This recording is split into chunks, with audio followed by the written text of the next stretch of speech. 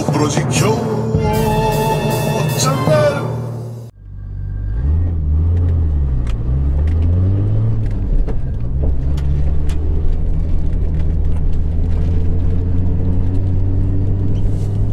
うい煙たい。あどうも。GoPro 実況チャンネルのゴン吉です。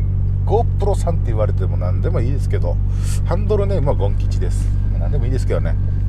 久しぶりにスカイライン乗ってます。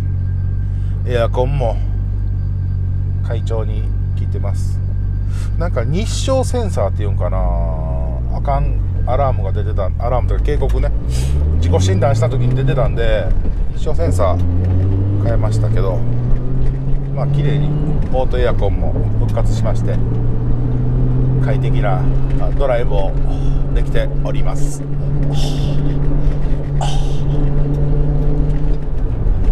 いい意味はありません、は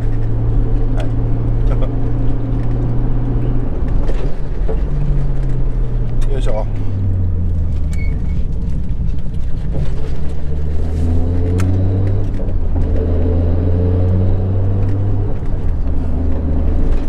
コメントでいろいろなんてやろ。こうなんですか？とかさ。こうしてるけどなんで？みたいなのあるけど。なんやろ。もしそれが免許も持ってない教習所車を運転したこともない人やとしたら何も心配することはないから。教習所行ったら教えてくれるし自分でいろいろできるから。なんかそんな人子が多い気がする。乗ってもないし乗るかどうかもわからんのに不安があることもないんじゃない？って。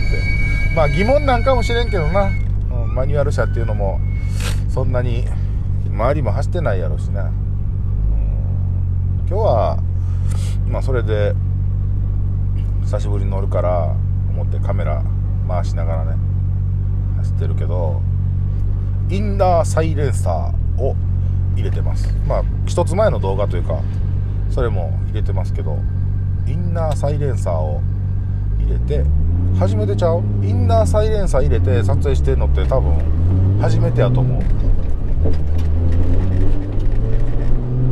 まあ、大体あの ECV で賄えるんですけど気分転換というか、まあ、たまには違うのも怖い。子供がいっぱい走ったら怖いな。ちなみに今日土平日です。休みの日ではありません。何やった？インナーサイレンサーな、うん、インナーサイレンサー入れたらまあ少しは静かになるかなと思って走ってるのと、まあ、あとタイヤをね、うん、元に戻してるとかラジアルに戻したんであのトレッドが変わってるんですよ。分かりにくいかな。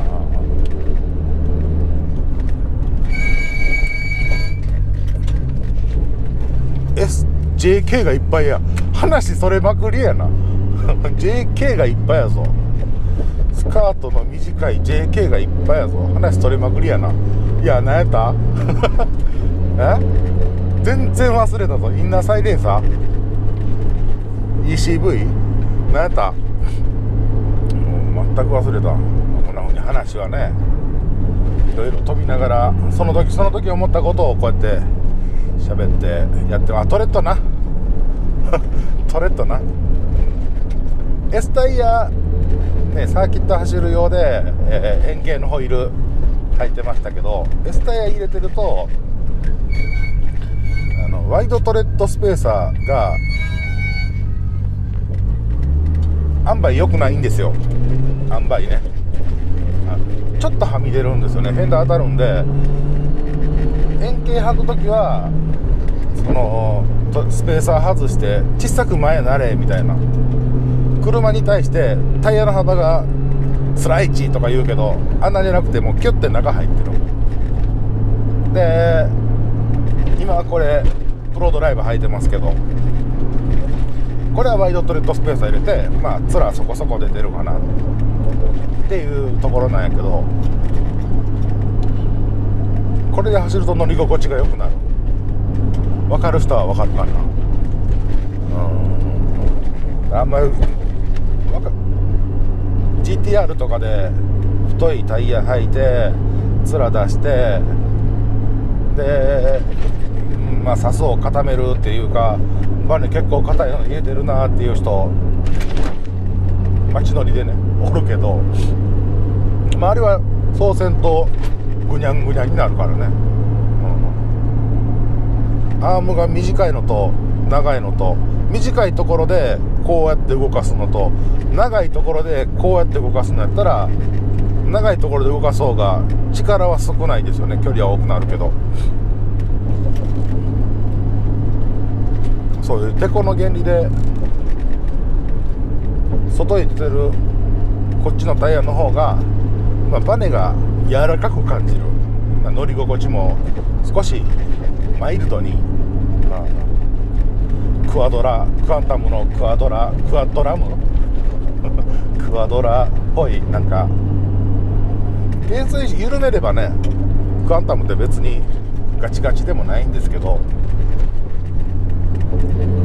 まあ少しマイルドになったかなっていう感じで音もジェントルな音で楽しいドライブをしてます。もう祭りが始まるんや。であのミッションの音とかデファレンシャルの音が聞こえるのはマウント固めてたり後ろのデフやったらカラー入れてセミリジットみたいなね風にしてるんで音が入ってくる。街乗りが主体の人はだからピロボールブッシュとかさあんなんもおすすめはしませんね。こうやって音がいろいろいろんな音入ってくるもん。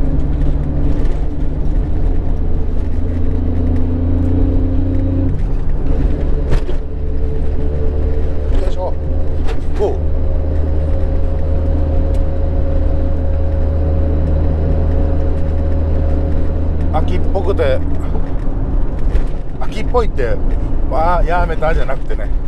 オータム。秋が一歩一歩近づいてきてますね。気温温度計も25度とか26度とか。涼しいなって思うけどエアコンはまだ手放せない。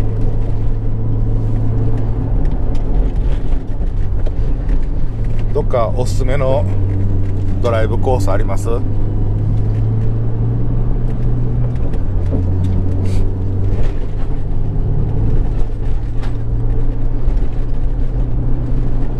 ドライブみんなで行きます？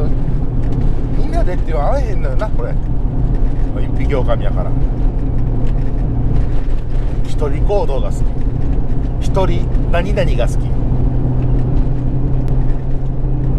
あそうや。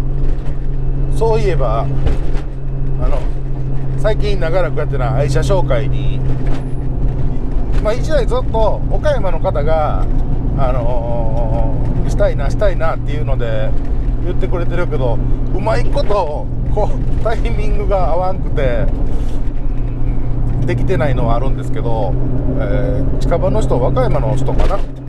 で、えー、ぜひ協力させてください。っつってツイッターで DM が来ました。Z ですね Z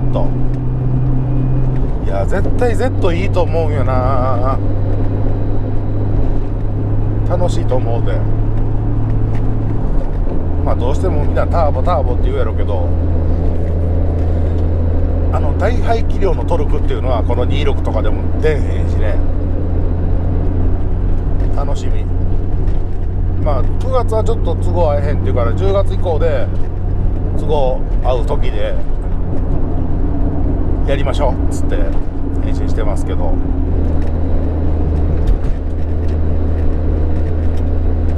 見切り大将もなんかちゃちゃ入れに行ったろうみたいな言うてたけどね。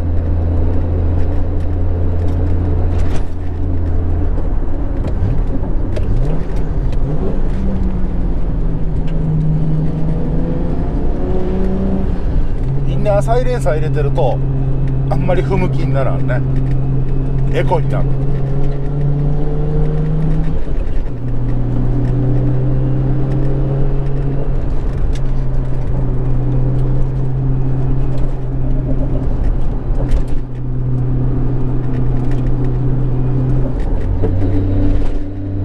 もう前に車あるからな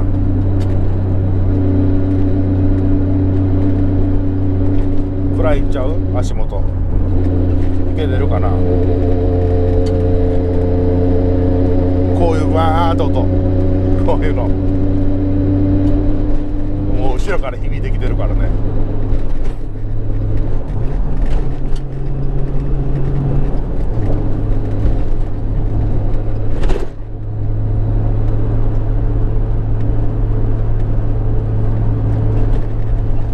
いや久しぶりに乗ったけどやっぱりなんか楽しいな。いつものテストコース毎日のように走ってるこのコースだけやけどねテストコースいうかリファレンシャルロードかな。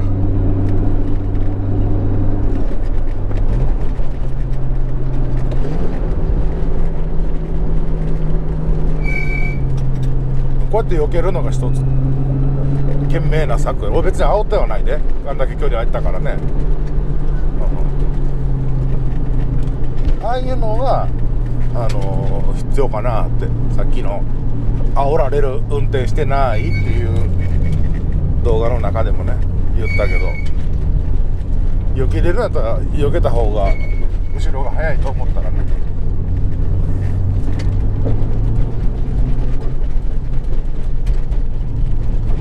あ抜きたいんや抜きたくて抜くんやったらもう安全なところで一気に抜くのがええんかな。抜くなとも言わんし急ぐなとも言わんし。あるやん絶対。違反していいとは言わんよ。そやけどさちょっと早く着きたいなとかあるやん。前の車遅いな抜かしたいなってあるやん。それを安全にまあ大きな違反をすることなくできるようにするにはどうしたらええんかなって考えた方が幸せになれるな。多分。腹減ってきた。何時か分からへん。でも腹減ってきた。マクドナルドでも食べようかな。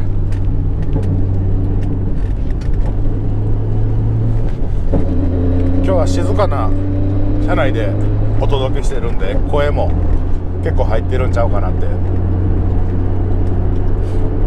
たまにはこんなんもええんかな。よ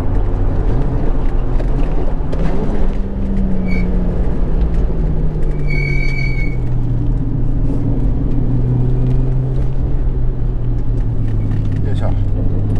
いうところでまた次の機会次の動画次の場所次のどこかな。またなんかええ遊びないかな。スカイラインフェスティバル行ってみようかな。